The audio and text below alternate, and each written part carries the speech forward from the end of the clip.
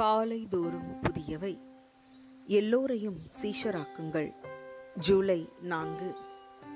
பிதா குமாரன் பரிசுத்த ஆவியின் நாமத்திலே அவர்களுக்கு ஞானஸ்நானம் கொடுத்து மத்தேயு இருபத்தி எட்டு பத்தொன்பது. ஆல்ஃபிரட் பெர்னட் நோபல் என்பவர் ஸ்வீடன் நாட்டு கண்டுபிடிப்பாளர். இவர் தன்னிடம் இருந்த பணத்தை வைத்து அறக்கட்டளை ஒன்று ஏற்படுத்தினார்.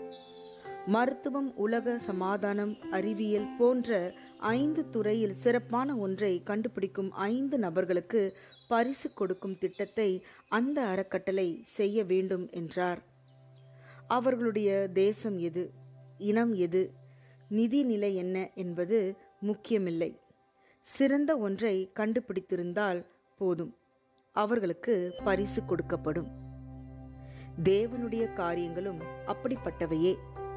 அன்புக்கும் மகிழ்ச்சிக்கும் மதிப்புக்கும் சமாதானத்திற்கும் நிறம் தெரியாது உயரம் தெரியாது இனம் தெரியாது சாதி தெரியாது பாலினம் தெரியாது. அவற்றை காலத்தாலோ இடத்தாலோ கட்டி போட முடியாது. யார் வேண்டுமானாலும் பெற்றுக்கொள்ளலாம் எல்லோருக்கும் உரியது தேவக்கிருபை.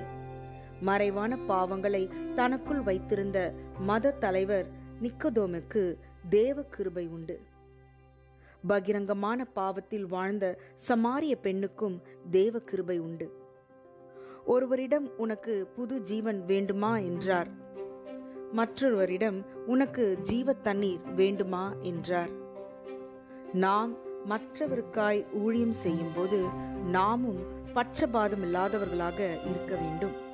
அப்பொழுது பேதுரு பேசத் தொடங்கி தேவன் பட்சபாதம் உள்ளவர் அல்ல என்றும் அப்போஸ்தலர் பத்து முப்பத்தி நான்கு நம்முடன் தொடர்பு கொள்ளுகிற எல்லோருக்கும் நற்செய்தியை சொல்ல வேண்டும்.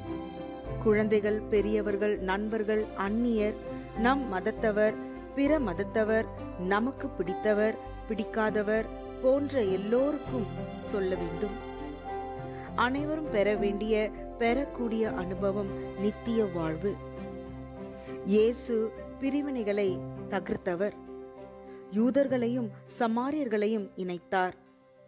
இயேசுவை மீட்பராக ஏற்றுக்கொள்ளுகிற அனைவருக்கும் இந்த பாலம் திறந்திருக்கிறது.